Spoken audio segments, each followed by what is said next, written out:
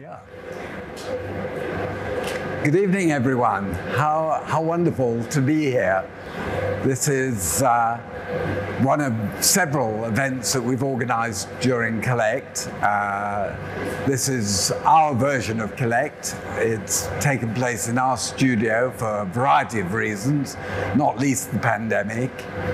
And it's been very worthwhile and very successful, and we're very, very grateful to all the artists who've worked so hard to produce this outstanding exhibition.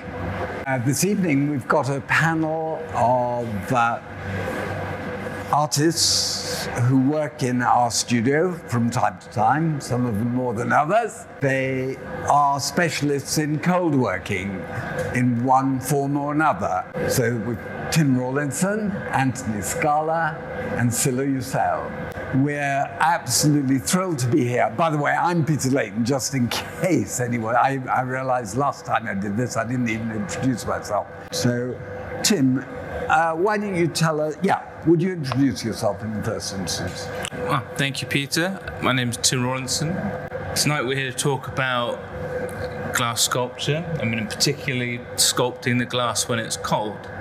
Uh, that's my main language in glass of working it in its cold state, sort of polished surfaces, uh, cutting especially, I think is the main thing. And once once you've cut a piece of glass, that facet is no longer transparent. It, it's opaque, so you'll have to work it quite a long time. Uh, very fastidiously through different grades of grit to get it back to a high optical polish.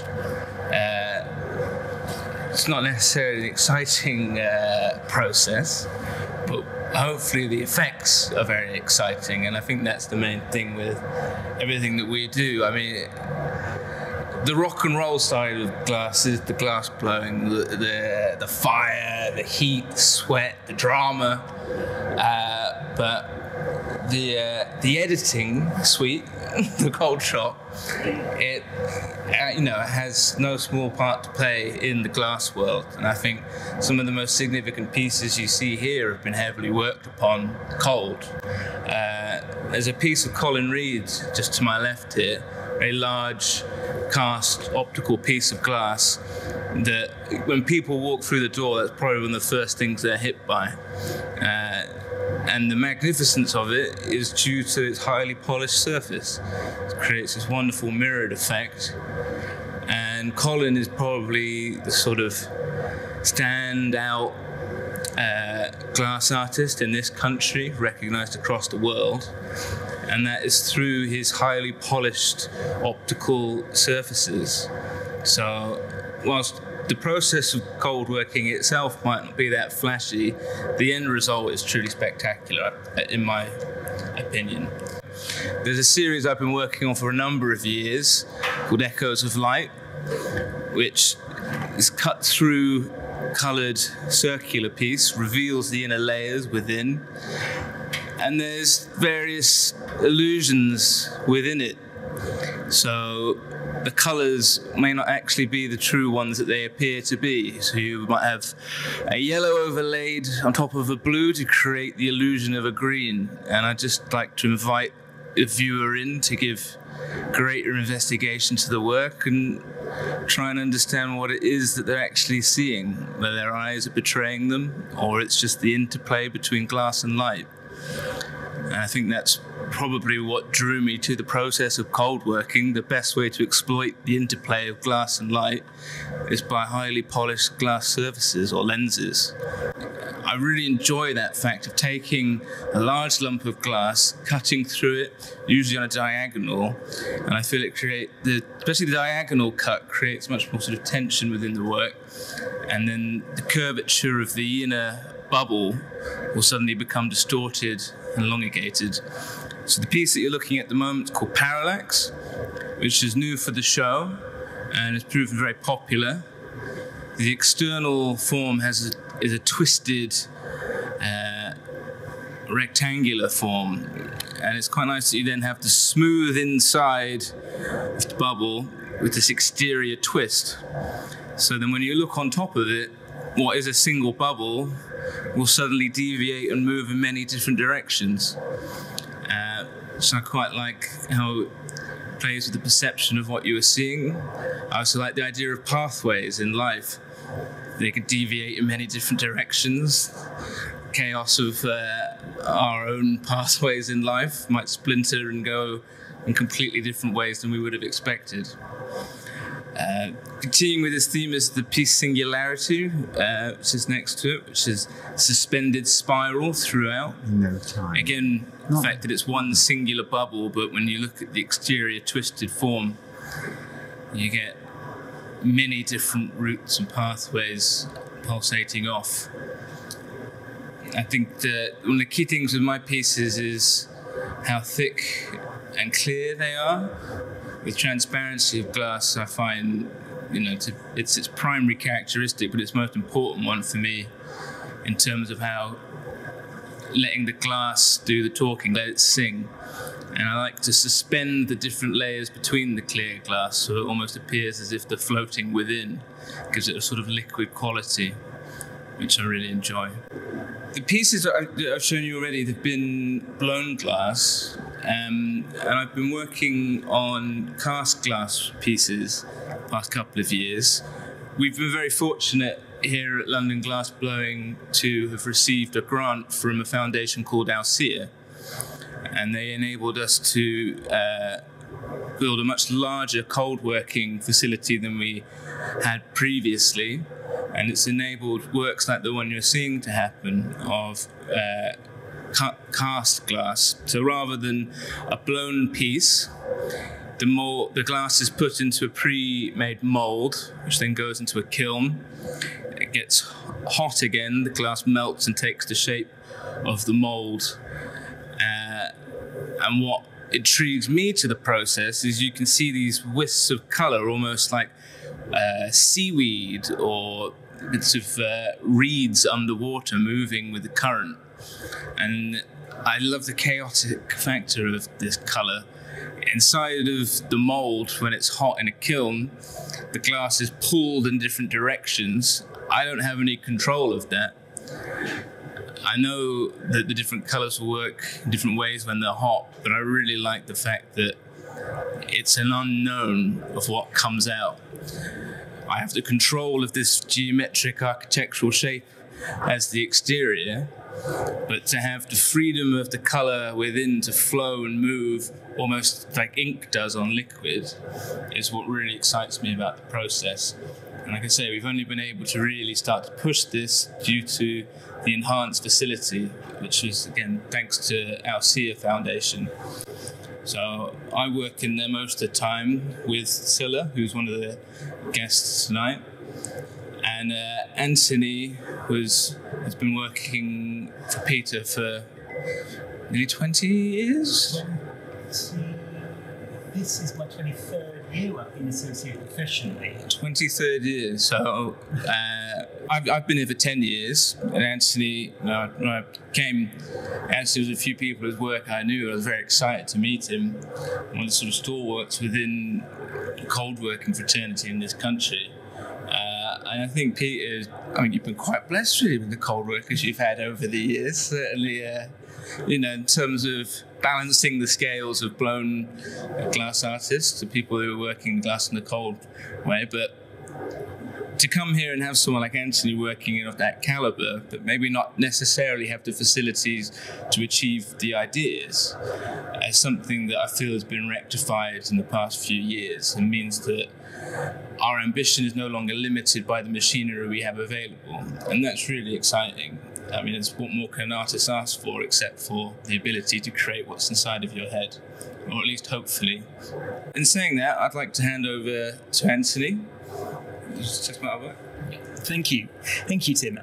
Actually going back to those um, gosh all those years ago when tim first joined the studio. Halcyon days. Yeah.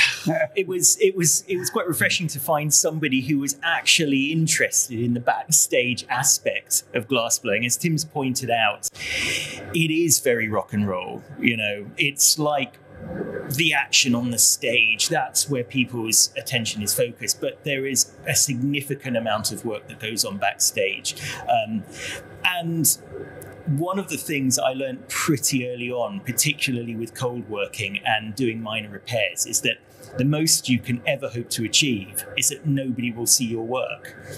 So, if that, I think you'll you'll agree with that one. I'll speak a little bit about my my work and my my my process now. So I've been associated professionally with the London Glass Blowing since 1999, and I came straight from college, uh, and I trained as an architectural model maker. And the thing about architectural model making is that it is exceedingly precise. Um, there is absolutely no margin for error. And when I started working at London Glass Blowing, in many ways it was incredibly refreshing to, you know, come to a studio where you're, you know, essentially sketching on the blowing iron and creating these kind of amorphous shapes and responding immediately to what to what the material is doing. However, that was that was completely contrary to my training, and some of my early tests were to see if that level of architectural accuracy could be translated into glass, which is probably one of the most unforgiving materials on the planet once it's cold. And I just wanted to see if you could work it, grind it, polish it in the same way you could wood or metal um, or plastics. And to my delight, um, yes, you can do that. Uh, so that was really the beginning of my obsession, I suppose you'd call it, with cold working. Of course, you know, being young and naive, I kind of assumed I was the only person in the world doing it. Um, soon learned that that was absolutely not the case.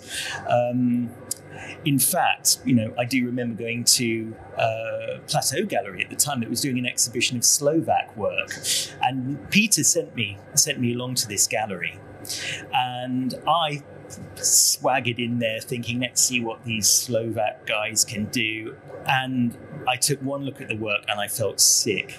You know, I just thought I have got so much more to learn from this, which is a very sobering thing. And actually, that has kept me motivated and inspired for the past 20 years. You know, I'm always comparing what I make with what I saw that first time. And in my opinion, it's it's never got there. It's never quite been to that level. So, you know, as Tim was saying, that the, the, you know the aspect of cold working is that you're taking this glass um, and then you're cutting it and grinding it, um, and you know taking it from this almost opaque. Uh, looking material all the way through to an optical polish. And for me, it's the physics of the optics which I find absolutely fascinating. So I have three pieces um, in my uh, collection for the London Glassblowing exhibition. It's part of a brand new range of work called Abstract Geometry. And it's an extension, I suppose, of some work that I, I, I, I really began just before lockdown. Um, and it was exploring these, these geometric um, eight sided shapes, these octahedrons. These are multifaceted, uh, multi layered pieces.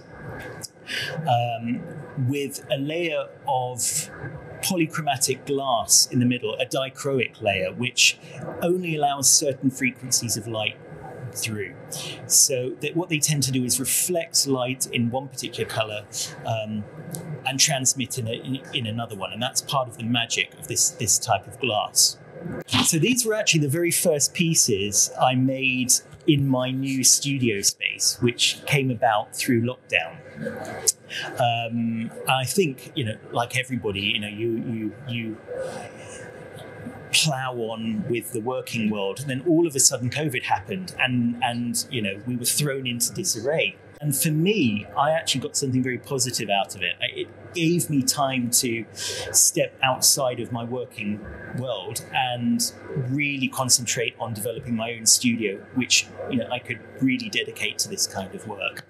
Um, so these are the, as I mentioned, these are the first pieces that have come out of that of that um, of that new studio space. I use a very specific type of optical epoxy. Um, and laminating in wintertime as opposed to summertime, the viscosity is completely different. The curing time can alter by as much as 14 hours.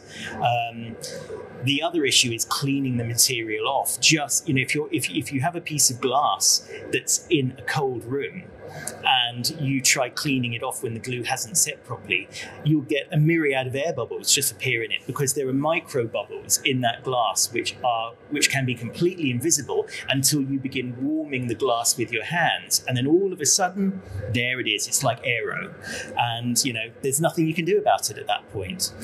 So it's a very challenging uh, chemistry to get right. Um, there are lots of tricks that you can that you can employ, but there is no universal rule.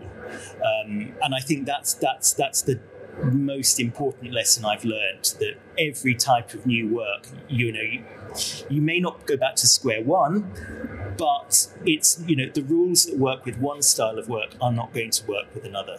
So, and I think Sila's probably uh, come across some of this as well. In fact, that might be quite a good opportunity to pass over to Scylla now. Yeah, um, I was lucky to be given a masterclass in lamination this summer, in the previous summer from Anthony, and um, I already knew it was really, really complicated, but um, some of the things that Anthony spoke to me about while he was showing me the process were things I didn't even think were possible. But um, yeah, I'm um, I'm a cast-based artist, so most of my work, I mean, all of my work is basically cold working. I don't touch the glass when it's hot at all. So I start off with uh, I'll make a plaster cast to go into the kiln, and that will involve me uh, making a model that can go into the plaster and create a negative. So I'll 3D print a design that I want to make out of glass, uh, cast that in plaster, and then remove the model so that I'm left with the negative. Once that's done, I can load that into the kiln and put cold glass on top of it and leave the kiln on for a week. And it will melt into that shape, and I'm left with the shape that I want to make out of glass. Once the kiln firing is done, I'm able to remove the piece from the plaster and then the real cold working begins. I'm left with a lot of overspill, so I have to grind all that surface away, which will take a few hours, and then I'm left with the shape that I actually want. I'm then going towards the lamination process, which is really similar to what Anthony does, and I'll have to polish the surface that I'm going to laminate. And like Anthony said, it's really, really important that that surface is flat because if it's slightly bowed, when you join the two halves together, you'll get that bowed, it won't sit flat on it, and you lose that sharp edge that you're looking for in the final piece.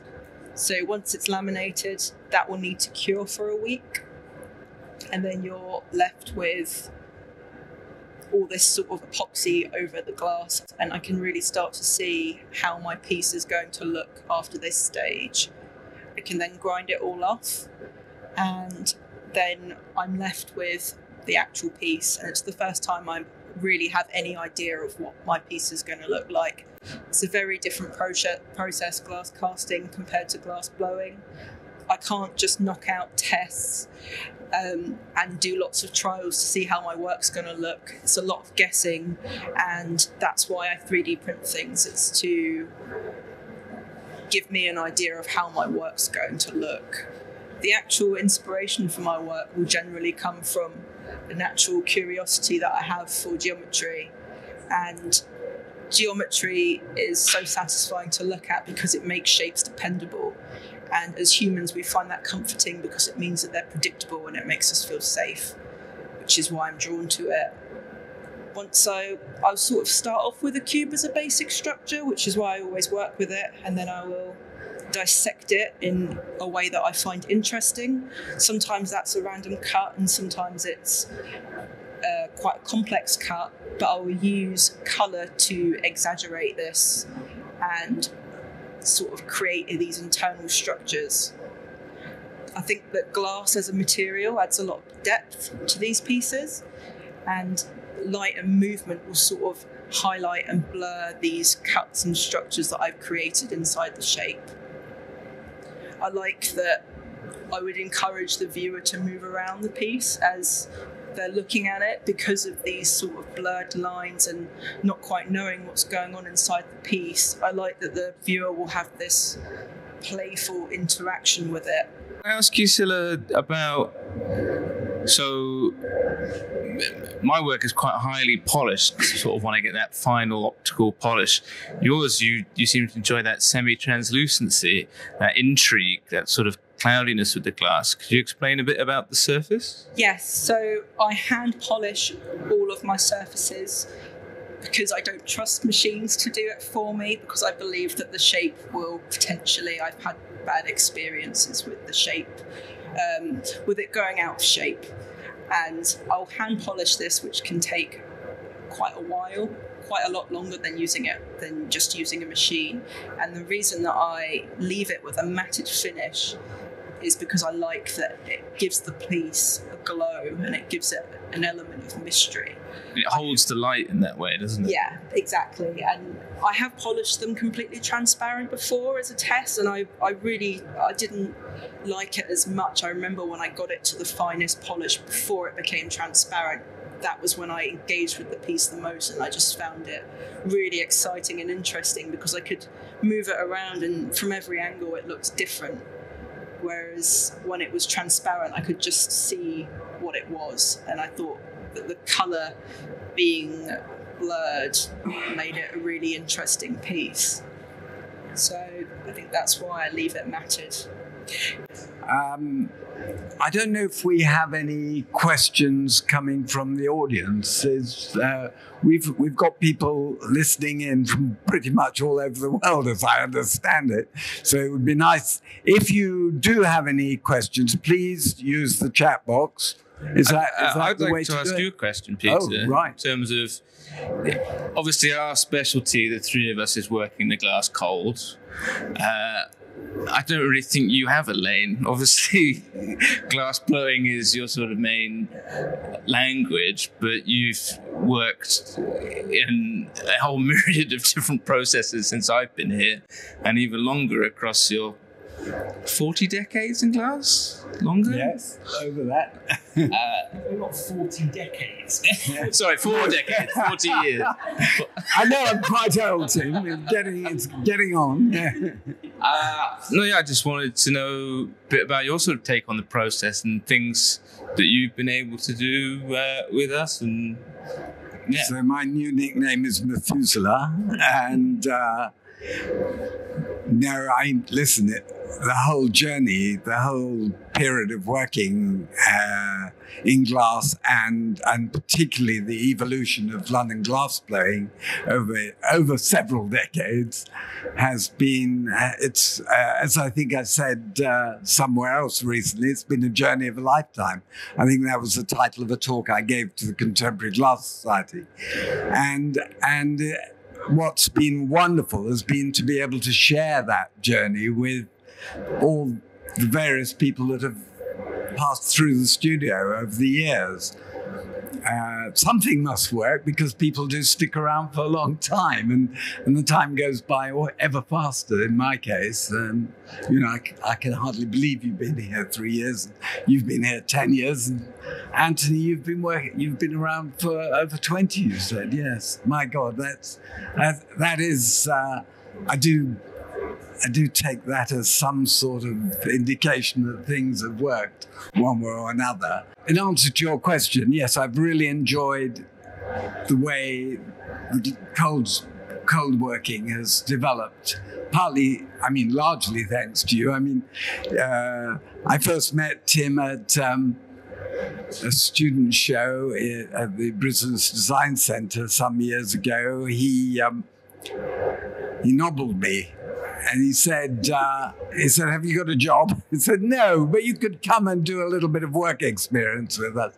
And uh, a bit like Anthony, he never left, and which is great because not only is he a fantastic colleague and uh, has helped me enormously with my work, he uh, happens to be my son-in-law and uh, about to become the father of uh, literally tomorrow morning, I think, of, uh, of a grandchild. So perhaps, do you want to elaborate on that by any chance, just to give us a bit of uh, context?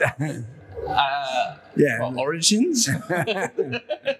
uh, my wife Sophie, Peter's daughter, uh, yeah, we're being induced for our first baby tomorrow morning, so we're very excited. Bless her, she's uh, into her, I think nearly her forty third week of pregnancy, so she's getting a bit fed up.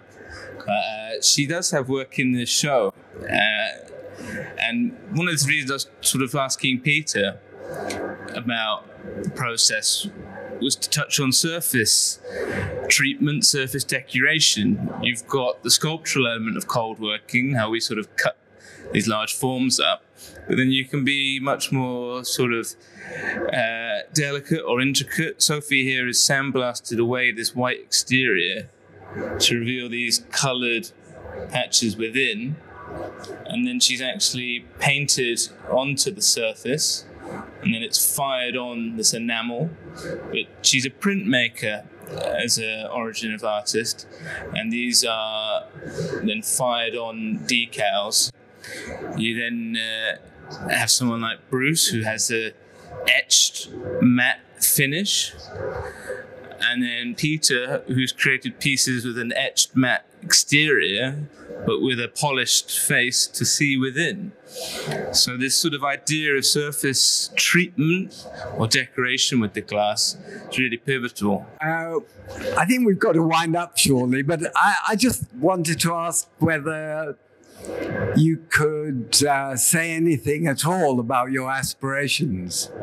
Where where do you visualize your how do you visualize your glass art evolving or developing in the future, or how do you see it vis-a-vis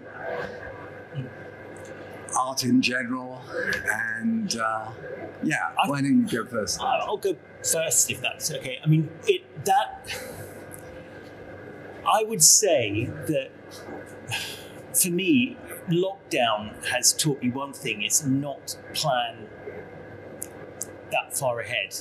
I mean, I think we all had plans. We'd all we all had like a one-year plan, a three-year plan, a five-year plan. What our work was, what it was, what it was going to become, almost in this kind of methodical kind of way.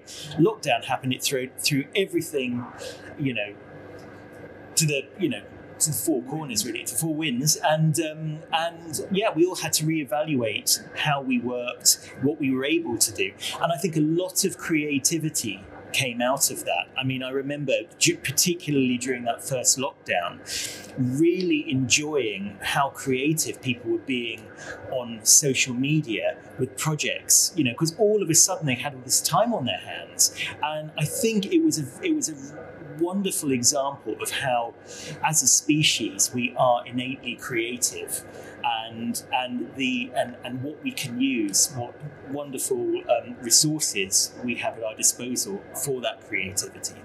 So um, so yeah, I, I, I would say, don't be too tunnel visioned in in how your how your um, you know how your work is going to progress. Um, be um, what's the word? Open open to new avenues that you would never have thought of.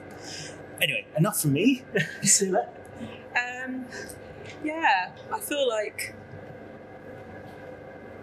I feel like part of me is still like, oh, I'm waiting for this to end, and I'll just end up doing graphic design again. So every year is just exciting for me and trying new ideas. That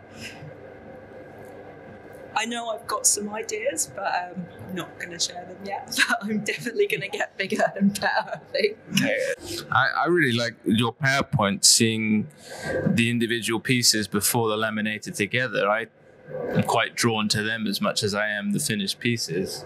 And I think there's uh, Yeah. there's quite a lot of scope with your components.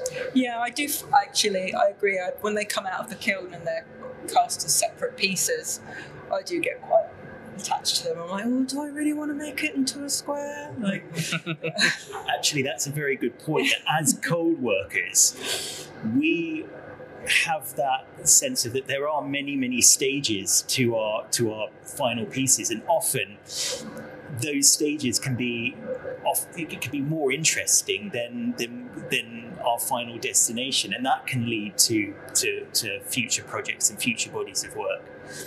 The process of cold work, as Anthony said, is it, it can be so long-winded and can. I mean, Anthony's at probably one of the more complex levels, but the time it takes to produce pieces means if there's a show I'll work six months to a year in advance to know to create a certain body of work. The amount of time that that will take me, I have to be thinking that far in advance for things. Um, so at the moment, I've kind of rounded up most of my shows. I've got quite a few things going on in America at the moment, which is very exciting. It's a new glass market that I'm opening up into. Uh, but I expect to be changing diapers and uh, all the other duties of a new father. So, uh, yeah, the future looks loud, it looks messy. oh, well, on that note, I think we're going to draw this to a close. Anthony, Sila, my beloved son-in-law. no, that sounds a bit sloppy, doesn't it, Tim? Uh, Peter's like, very excited about becoming a granddad I, again. I, I, think. I am. I am. Yeah, the, the, this is the biggest bit of all this lockdown creativity that uh, that you were talking about. It's coming to fruition. Anyway, I'm. Uh, thank you so much for joining us. We I've enjoyed listening to this. I hope you have. It's been quite an eye opener, and I've. Um, I hope you will take another look at our online catalogue because some, as I said earlier, some of this work is still available. Uh, we've enjoyed the evening, and I hope you have. And uh, let's hope this horrible thing that's going on in Ukraine comes to a, a swift end. It's not, and a positive one. Thank you so much. Thank you.